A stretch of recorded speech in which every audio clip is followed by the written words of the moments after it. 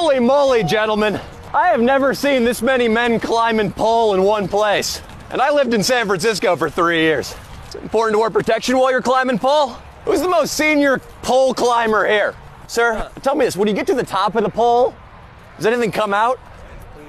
When the job is done, is there any sort of uh, release? No, we do our job, dude. What are you guys?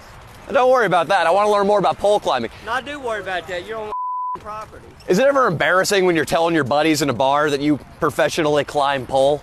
I'm telling you to get off our job site. How long does it take him to climb a pole? Go leave, dude. With a finger up the anus, I'm thinking two to three minutes. Go leave. Don't neglect the balls up there, cadet. Come on, man. There's no reason to call the police. Some of the police are old school. They might come crack a few skulls if they find out you guys are climbing pole. Do their wives know they do this?